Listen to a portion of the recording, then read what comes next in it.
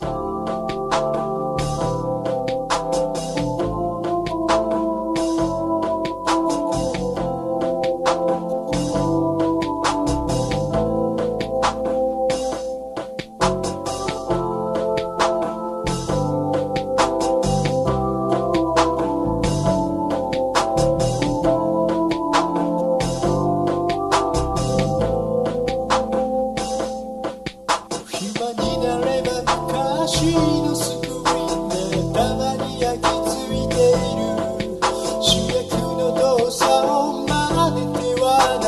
懐かしんだり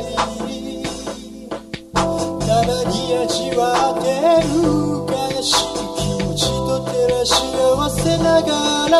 理想とのギャップを強く感じることもある。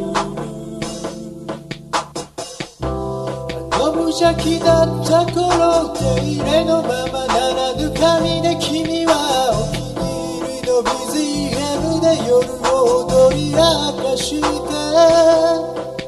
悪ふざけが絶えることなく部屋中に笑い声が響く。不安のかけらもなかった過去の二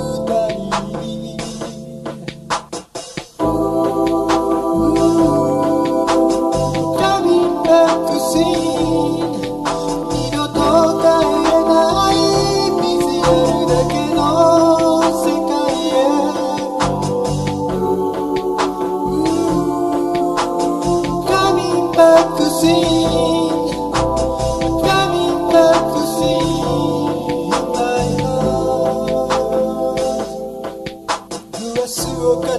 けて一人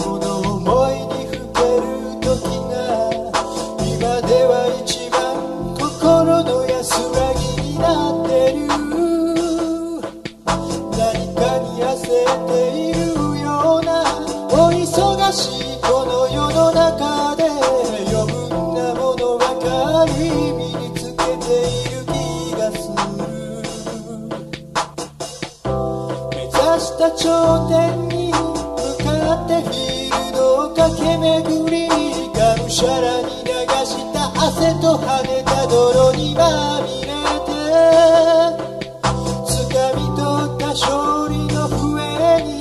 仲間の歓喜の声が響く。